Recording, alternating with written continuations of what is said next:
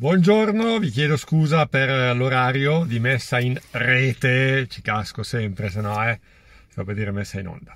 Di messa in rete del video, ma abbiamo aspettato naturalmente la fine della conferenza stampa di Massimiliano Allegri, la conferenza stampa tra le più attese, diciamo così, perché eh, segna questo punto di nuovo inizio della stagione della Juve.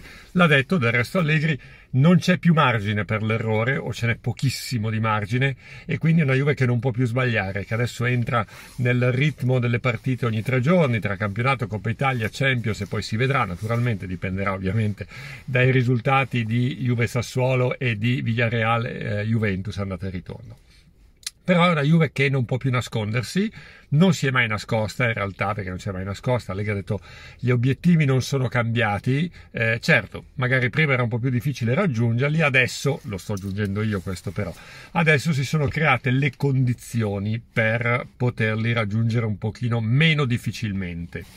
Ragazzi, me l'ha detto anche lui, ma lo dico anch'io, scordatevi il campionato, ma scordatevelo proprio, in questo momento scordatelo, poi svengono tutte, eh, la Juve le vince tutte, eccetera, è chiaro che i numeri ti danno ancora la possibilità di eh, entrare nella lotta scudetto, ma il, il, il senso del reale ti fa dire che è praticamente impossibile. Quindi la Juve mantiene questa necessità assoluta, assoluta di arrivare tra le prime quattro per intascare i soldi della uh, partecipazione alla prossima Champions, oltre che al prestigio, però bisogna guardare anche il vil denaro eh, in questi casi, dopodiché ogni partita farà storia a sé. La storia di domani dice che la Juve non ha battuto il Verona nelle ultime quattro sfide.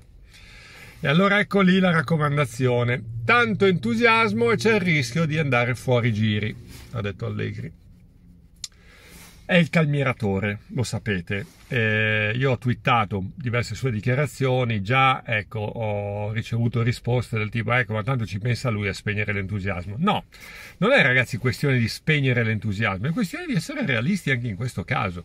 Se si vuole pensare che arriva Vlaovic e risolvi le partite subito o le risolvi sicuramente o le vinci tutte sicuramente, allora siamo andati completamente fuori tema ragazzi, cioè l'equilibrio ci vuole in tutto, così come ci vuole nel discorso relativo al tridente. Possibile, ha detto Allegri, possibile, perché non è impossibile.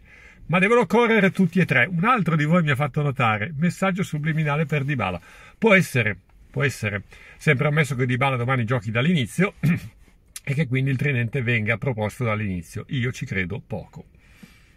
Che domani venga proposto dall'inizio il tridente, ci credo poco conoscendo il soggetto in questione e sapendo ovviamente e, e, considerando appunto il fatto che Dybala è rientrato ieri dal Sud America, quindi non lo so, non lo so.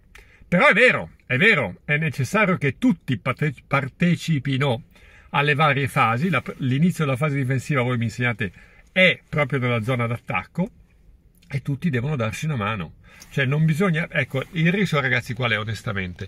Che adesso, con l'arrivo di Vlaovic, si sia ricaduti nel, eh, nel modo di interpretare la Juventus che c'era quando c'era Cristiano Ronaldo.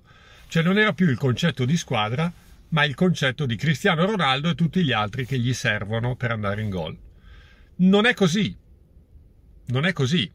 Vlaovic non è Cristiano Ronaldo, perlomeno non lo è ancora, anche se Allegri ha detto è uno degli attaccanti più forti che ci sono in circolazione assieme ad Alan Mbappé, quindi ha speso delle parole notevoli per un ragazzo di 22 anni che ha tanta voglia di migliorarsi ed è lì, ed è lì alla maniera del perfezionismo ed è lì che assomiglia a Cristiano Ronaldo, ma non è Cristiano Ronaldo. Quindi la Juve era la Juve di Cristiano Ronaldo, questa Juve non è la Juve di Vlaovic. Magari lo potrà diventare, ma il concetto di squadra è basilare, ragazzi. Altrimenti non si va da nessuna parte. Altrimenti non si va da nessuna parte. Poi è chiaro che a specifica domanda lui ha detto eh, è un ragazzo che vuole sempre migliorarsi, è un ragazzo che ha un grandissimo futuro, una grandissima umiltà e una grandissima determinazione. È chiaro che con parole così non puoi lasciarlo fuori domani. Non puoi lasciarlo fuori. No, poi verrò smentito dai fatti, ma non puoi lasciare fuori un giocatore così che si presenta con queste credenziali e con queste potenzialità. E con questa voglia carica e determinazione nel voler giocare questa sua prima partita con la maglia della Juve, la squadra che lo farà esordire anche in Champions dove non ha mai giocato. Lui è carico a pallettoni, è carico a pallettoni mi dicono ragazzi. E, e vorrei anche vedere, vorrei anche vedere un ragazzo di 22 anni nella sua condizione. Però attorno a lui va creata la condizione giusta di equilibrio per farlo esprimere. Così come lui non dovrà farsi prendere la mano a voler risolvere tutto da solo, ma cercare anche i compagni, i compagni dovranno cercare lui quando sarà possibile, non esasperando la giocata per arrivare a lui, come era stato fatto in tante occasioni per Cristiano Ronaldo. Quante volte compagni di reparto o non compagni di reparto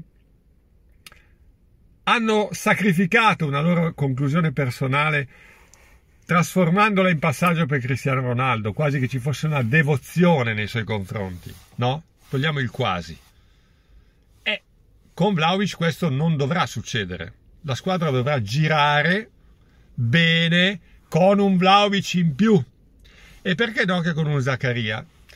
Allegri ha detto vediamo se li faccio giocare. Nel linguaggio di Allegri, secondo me, c'è che al 100% magari tutte e due no, uno al 99 l'altro al 90, diciamo così.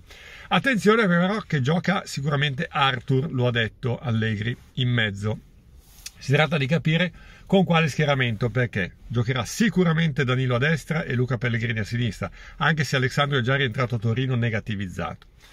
In mezzo non è stata fatta domanda specifica su Bonucci, così come non è stata fatta domanda specifica su Dybala in attacco.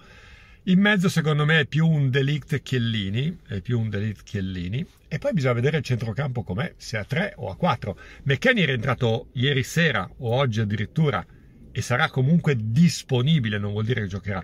Quadrado è abbastanza distrutto, Allegri ha detto non trovava neanche l'ingresso della Continassa, quindi presumo che partirà dalla panchina. Fosse un 4-4-2, chi sarebbero i 4 di centrocampo? Arthur Zaccaria, Rabiot, McKenny.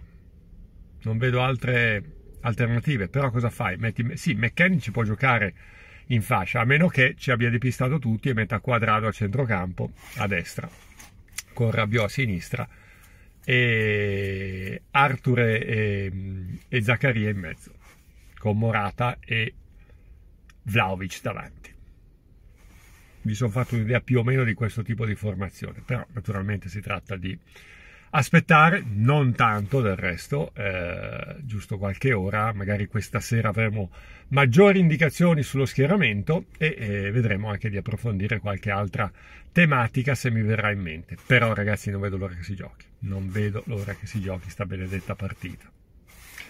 Iscrivetevi al canale, seguitemi sui social e vediamo di approfondire qualche cosa questa sera se ci sarà. Se non ci sarà, il video ci sarà uguale.